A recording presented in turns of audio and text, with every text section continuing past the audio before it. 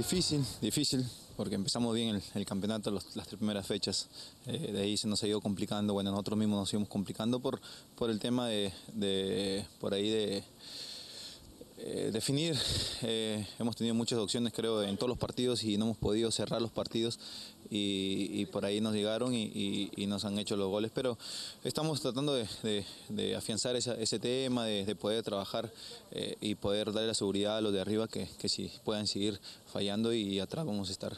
Y sí, sirvió, sirvió, sí, sirve bastante porque, eh, como te le dije, lo dije, si el fútbol, en el fútbol hubiera justicia, creo que los tres puntos nos teníamos que, que traer nosotros porque tuvimos las más claras en el partido y por ahí en una jugada ellos nos, llegaron un poco de desatención en los últimos minutos, eh, nos llegaron y nos hicieron el gol. Menos mal que, por ahí pudimos empatarlo rápido y, pudimos traernos el, punto que por, creo que hubiera sido eh, injusto para nosotros no trayendo nada de. Pues. Por ahí empezamos de la mejor manera. Eh, de ahí los partidos eh, con rivales directos no supimos aprovechar la- las oportunidades para poder salir de, este tema. Eh, con Piratas nos dejamos empatar al último, de ahí con Comercio se nos escapó el empate, bueno, lo tuve yo para, para empatarlo y de ahí tuvimos que, remar ya de, de, otro, de otro, otra posición, pues no, pero estamos tratando de, salir este, de este tema porque San Martín juega juega muy bien, como te digo, las ocasiones que hemos tenido no, no las hemos podido concretar y,